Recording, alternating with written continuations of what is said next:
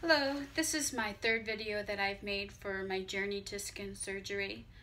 I just received the news today that uh, Aretha Franklin had passed away. Um, she was a huge influence in my life. Um, she also is from Michigan. Uh, I absolutely love Motown. And uh, she's definitely the queen of soul. She's going to be so missed. And uh, I love to sing whenever I would go to sing karaoke, and a lot of times I would go to the bar completely by myself. And uh, it's hard to find somebody who likes to sing karaoke. And, uh, you know, whenever I would have to have that to go to song, and I was real nervous around a whole bunch of strangers, the first song that I would always pick would be Respect by Aretha Franklin. And, uh, you know, just Motown is huge from Michigan. I'm so proud to be from there. Uh, Stevie Wonder was born in Saginaw, Michigan. He wasn't raised there, but he was born there, and uh, I just uh, absolutely love the music. And uh, Aretha Franklin was a, um, a huge supporter of Martin Luther King, and uh, one of the reasons that uh, the march went from dust being down deep into the south, but up into Michigan, uh, up into the north, sorry, was because of the work that was done by Aretha Franklin and her father. Uh, so, uh, you know, just real proud of uh, a woman who uh, was definitely uh, an influence for everyone. And I'm going to be singing her song, Respect. I was crying all day, so it's going to be a little bit rough, but I'm going to try to do her proud.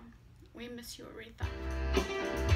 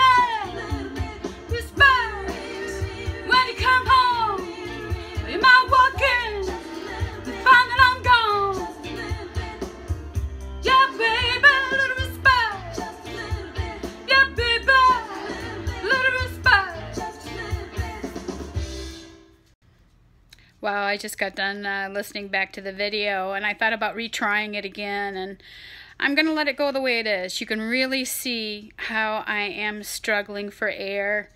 Um, this extra weight has really affected my voice. I look forward to being able to sing a lot better. And, uh, you know, uh, Aretha, we miss you.